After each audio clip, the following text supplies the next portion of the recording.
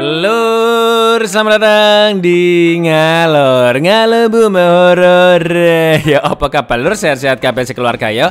Balik mana yang aku Icang seperti biasa Ini banyak yang request film psikopat merubah korban menjadi seekor marmut. Bukan dong, kekecilan dong. Menjadi seekor walrus, ayo siapa ini yang request? Ayo hmm? Hmm? Bergenre horor komedi, film ini berjudul Tax tahun 2014 Apakah film ini berdasarkan kisah nyata? Tunggu nanti di kesimpulan ya lur. Tax bercerita tentang seorang pria yang diubah menjadi seonggok walrus oleh psikopat. Sudah pernah nonton film ini? Pasti sudah kan? Selulur seperti biasa di sini akan dijelaskan sedetail dan semenarik mungkin. Oke, kita langsung pantun absurd aja ya. Cak Supardi dadi walrus. Monggo sekecaaken. Inte walrus.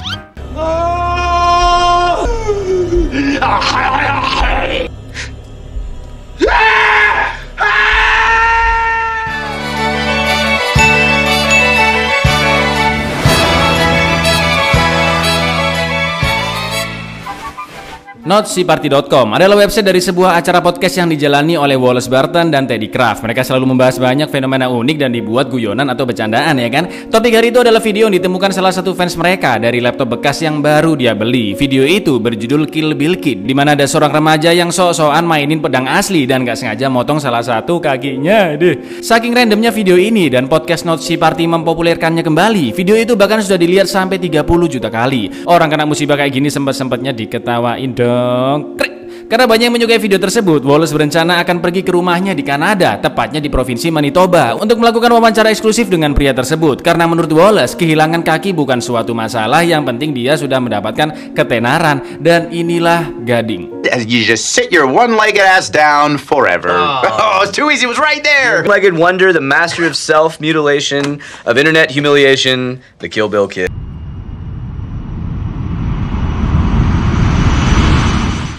Singkat cerita, sampailah Wallace di Manitoba, Kanada dan terlihat ada rangkaian bunga di depan rumah Kill Bill Kid karena ternyata tepat di hari itu dia telah meninggal. Kill Bill Kid bunuh diri dengan pedang yang dia pakai di video itu karena tidak kuat mendapatkan pembulian. Lalu Wallace pun mengabarkan Teddy tentang hal tersebut. Daripada pulang dengan tangan hampa, mending nyari topik aneh lainnya di Kanada. Sampai akhirnya dia melihat seonggok catatan yang menarik di toilet sebuah bar. Catatan itu milik Howard Howe, seorang pria lanjut usia yang mengaku punya banyak kisah menegangkan dari petualangannya berkeliling dunia. Karena rumahnya berada berada di dekat sana, Wallace pun berniat untuk menemuinya. Tapi sebelum itu, dia mampir jajan minuman ke Alfamidi dulu, sekalian nanya jalan ya kan. Dalam perjalanan, Wallace menelpon Howard untuk memastikan alamatnya. Jalan terus nilur sekitar 2 jam pakai Google Maps. Dan sampailah Wallace di rumah Howard yang berada di tempat terpencil. Gerbang pun langsung dibuka dan Wallace dipersilakan masuk ke kediamannya. Sebuah kesalahan, rumah Howard dikelilingin halaman yang sangat luas. Nggak pakai assalamualaikum, Wallace langsung masuk dan disambut oleh Pak D. Howard. Sebelum lanjut ngobrol, Wallace izin pipis dulu ke toilet karena dari tadi udah ditahan. Terlihat si rumah Howard yang dipenuhi barang-barang aneh termasuk di toiletnya.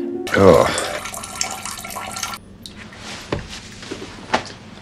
Wallace pun dipersilakan duduk dan dijamu dengan teh. Terlihat Howard yang memakai kursi roda karena kakinya lumpuh. Sambil menyeruput tehnya, mereka pun mulai mengobrol. Sampai akhirnya Wallace melihat benda aneh non estetik di atas perapian yang ternyata itu adalah detitit dari walrus. Beda ya lur, walrus sama anjing laut. Kalau walrus punya dua gading. Howard pun mulai menceritakan kisah kelam yang tidak pernah dia lupakan dengan walrus yang pernah ditemuinya. Dulu Howard bekerja sebagai seorang koki di sebuah kapal yang sedang memburu hiu putih besar. Tapi naas kapal menabrak dinding es lalu hancur dan tenggelam. Howard satu-satunya yang selamat Selama di kejadian itu, dia terombang-ambing di lautan gelap dan terus berenang tanpa tahu tujuan sampai akhirnya dia berlabuh di sebuah pulau kecil. Dalam kondisi sangat kedinginan, Howard melihat penyelamat di depannya yaitu seekor walrus yang langsung memeluknya memberikan kehangatan. Howard pun menamai walrus tersebut dengan sebutan Mr. Tas. Sejak saat itulah mereka bersahabat selama enam bulan lamanya karena tidak ada yang menolong. Belum kelar cerita, tiba-tiba pandangan Wallace semakin kabur karena ternyata Howard telah memasukkan semacam obat bius ke dalam tehnya. Mampus.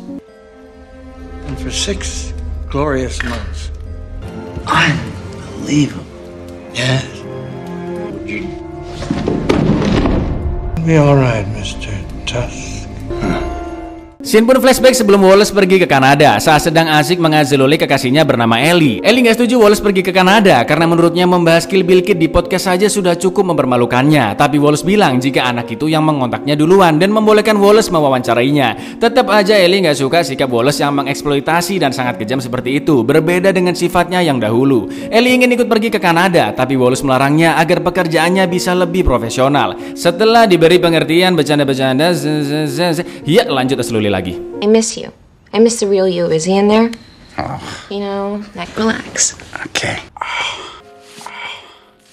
Uh,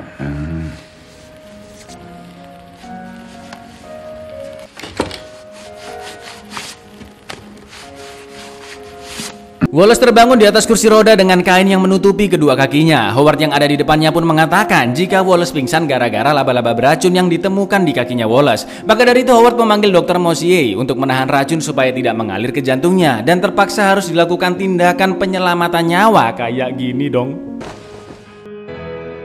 Oh my god!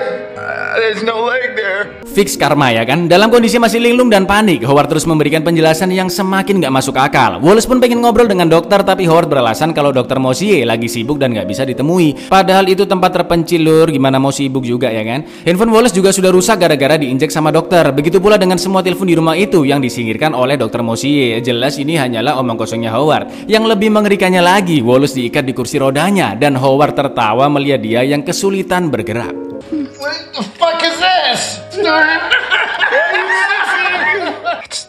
insane. Possibly so, but it's true. I am truly sorry for your loss. Malamnya Howard mengajak Wallace untuk makan malam, tapi karena efek obat bius masih bekerja, Wallace tidak bisa menggerakkan tubuhnya. Ketika dia bertanya apakah Howard benar-benar melihat laba-laba itu, Howard yang memang dasarnya udah gendeng lur, jawabannya makin ngelantur dan malah nyanyi-nyanyi dong, astaga. Wallace pun semakin panik dan akhirnya teriak minta tolong. Lalu yang terjadi?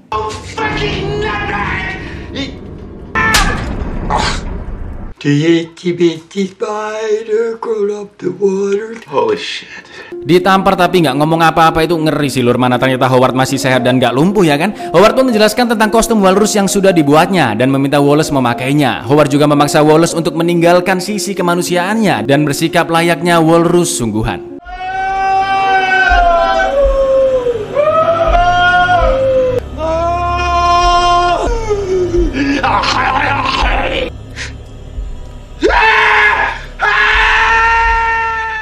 Scene pun berpindah ke Ellie yang habis berazalole dengan Teddy dan curhat betapa bencinya dia dengan Wallace. Ternyata Wallace berselingkuh dan mengasalole fans wanitanya karena tergoda dengan kepopulerannya saat ini. Meskipun begitu, Ellie masih menelpon Wallace untuk mengetahui kabarnya. Karena sudah tiga hari Wallace nggak ada kabar. Ternyata HP-nya masih belum rusak lur, tapi karena Wallace jalannya pakai kursi roda udah keburu dimatiin lah teleponnya sama Ellie. Wallace pun menelpon balik, tapi HP Ellie di silent dan lagi dicas. Dia mencoba menelpon Teddy, tapi jelas Teddy yang melihatnya nggak mau ngangkat daripada ketahuan ya kan. Wallace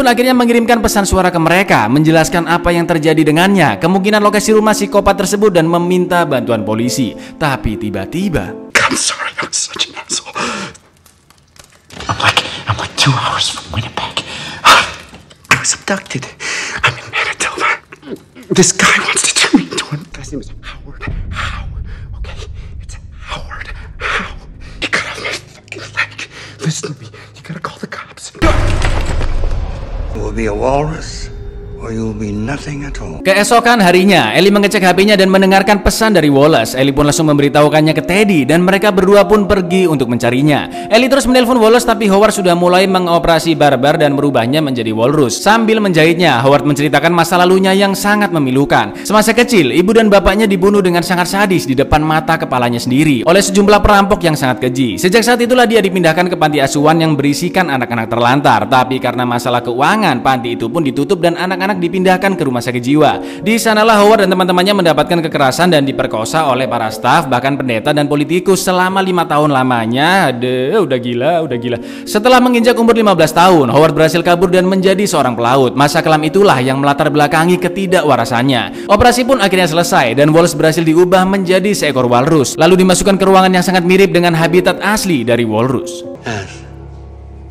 Man is a savage animal, Mr. Brighton.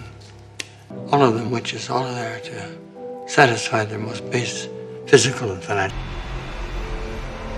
Better to be a walrus.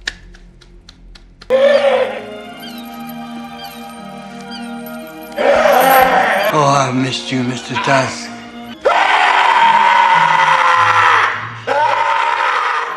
Di lain tempat, Ellie dan Teddy sudah sampai di Kanada. Mereka pun menunjukkan foto Wallace ke tempat-tempat di Winnipeg, tapi nggak ada satupun yang melihatnya. Mereka pun pergi ke kantor polisi dan memberitahu pesan suara dari Wallace, dan polisi mengatakan jika mereka nggak menemukan nama Howard Howe di Manitoba. Sampai akhirnya polisi teringat seseorang dari kota Quebec yang mengaku sedang mencari pembunuh berantai di Kanada. Untungnya orang ini sempat meninggalkan nomor HP, dan nomor itu diberikan ke Ellie dan Teddy. Howard sekarang memanggil Wallace dengan sebutan Mr. Tax dan karena Wallace masih belum bersikap layaknya seekor walrus, Howard pun menarik paksa Wallace agar belajar berenang dan ketika di dalam air.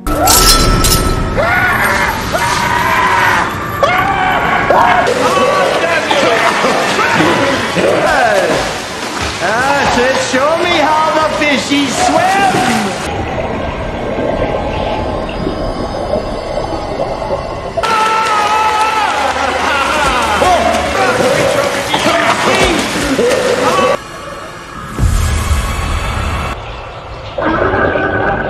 Idih, ternyata selama ini Wallace bukanlah korban pertamanya.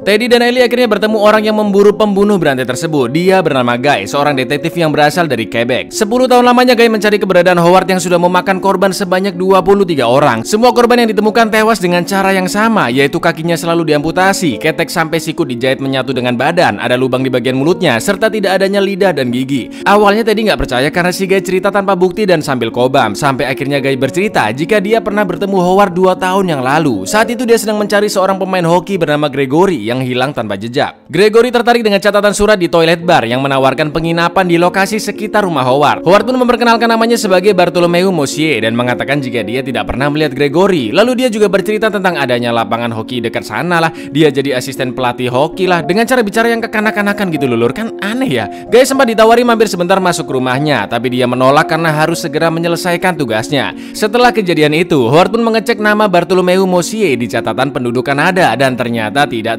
terdaftar. Begitu pula dengan cerita tempat hoki dan semua perkataannya hanyalah omong kosong belaka. Sampai akhirnya sebulan kemudian mayat Gregory ditemukan menyumbat pipa saluran air di perkotaan dekat sana dan Howard telah menghilang. Saat mayat dibawa ke lab, polisi menemukan ada tulang kering korban yang berada di lubang mulutnya tersebut sungguh-sungguh mengerikan di dalam kandangnya, Wallace masih menangisi kondisi dirinya yang sekarang. Dengan santainya Howard bilang, kenapa kamu bersedih? Manusia itu tidak lebih baik dari binatang bro, mending kamu jadi walrus kayak gini. Jelas Howard berpikiran seperti itu, karena dia melihat betapa binatangnya manusia saat dia masih kecil ya. Tapi tolonglah nggak dijadiin walrus juga dong. Plok. Wings fly. The water's wide. Howard pun melemparkan seekor ikan tenggiri meskipun Wallace gak mau memakannya tapi karena sudah sangat kelaparan akhirnya Wallace melahapnya persis seperti walrus.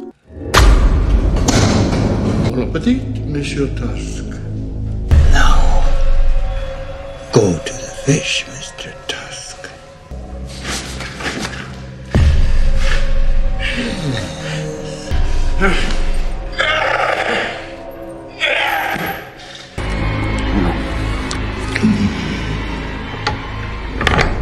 Setelah itu Wallace diajari cara untuk berenang dan menurut Howard cara ini bisa membuat Wallace lebih tenang, tenang-tenang endas muempang.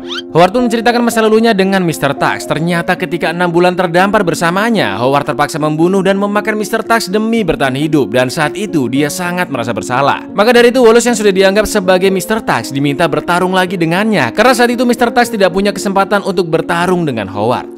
Sebelum pergi mencari Wallace, Guy bertanya ke Ellie apa kebiasaan yang sering dilakukan Wallace saat berkendara. Pinter juga ente Guy. Ellie pun teringat jika Wallace suka minum soda pakai gelas besar yang biasanya dijual di Alfamidi. Mereka pun akhirnya berhasil menemui dua mbak-mbak Alfamidi yang mengenal Wallace dan ingat jika Wallace menanyakan butuh waktu berapa lama menuju ke Bifrost. Juga Wallace yang menuliskan alamat rumah Howard di kertas catatan kasir Alfamidi. Dengan cerdasnya, Guy mengarsir lembar belakangnya dan menemukan di mana alamat Howard berada. Wow. Amazing. They did in the Big Lebowski. Dalam perjalanan menuju alamat tersebut, mereka melihat mobil Wallace yang tenggelam di danau dekat sana. Guy pun mengatakan jika mereka sebentar lagi pasti akan menemukan Wallace dan memberikan pistol ke mereka berdua untuk berjaga-jaga melawan psikopat Howard. Pertarungan antara Wallace dan Howard pun akan dimulai. Sudah 15 tahun lamanya Howard menunggu kesempatan ini dan sakitnya lagi lur Howard akan melawannya dengan memakai kostum walrus juga. Saking kerasnya teriakan mereka, Ellie, Teddy dan Guy pun mendengarnya dan langsung masuk ke rumah tersebut.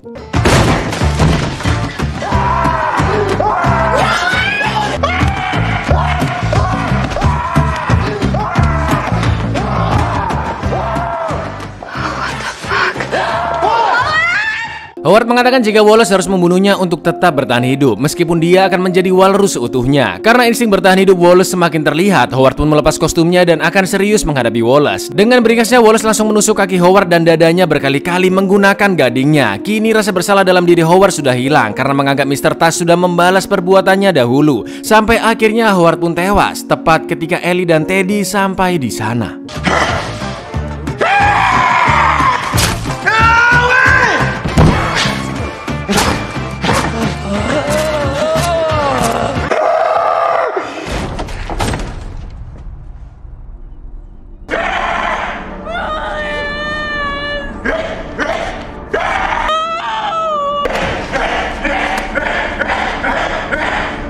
Sisi kemanusiaan Wallace sudah benar-benar hilang dan Ellie hanya bisa menangis histeris melihatnya. Sampai akhirnya Guy akan membunuh dengan shotgunnya. Lalu yang terjadi...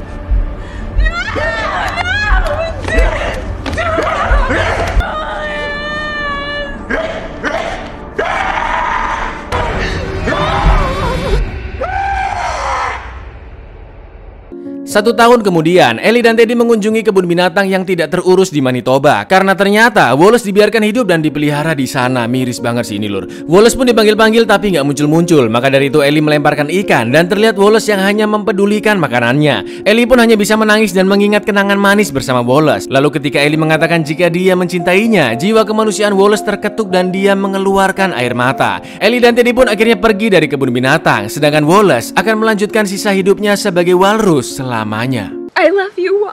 Don't ever forget that.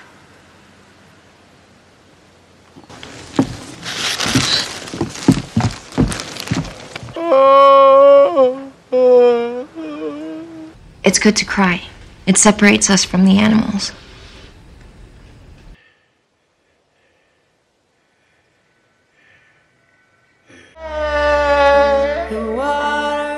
Eh, Buyar, buyar hidup ente kalau jadi walrus lur. Fun fact film ini lur, pada tahun 2013 ada sebuah iklan palsu di website yang isinya mirip-mirip seperti surat Pak Howard di toilet bar. Iklan ini menawarkan penginapan gratis dengan syarat orang tersebut harus memakai kostum walrus selama 2 jam setiap harinya. Nah, Cak Kevin Smith selaku sutradara dan juga sebagai seorang podcaster yang melihat iklan lucu-lucuan tersebut nggak pakai lama langsung dikes dibuat film. Intinya film ini terinspirasi dari kisah nyata tapi nggak beneran kejadian gitu lur. Jelas Wallace terkena karma ya kan. Awalnya ngetawain orang yang kakinya diamputasi, eh gantian dia yang diamputasi dan diketawain sama Howard. Malah lebih parah jadi seekor walrus ngeri sumpah sih lur. Bentuknya itu lur sangat-sangat ini apa uh, lah itulah. Ya wes gitu dulu. Aku Icang undur diri. Matur nuwun dan Seno untuk juga memulia orang. Baca yes untuk di bawah ini. Hmm, Assalamualaikum lur.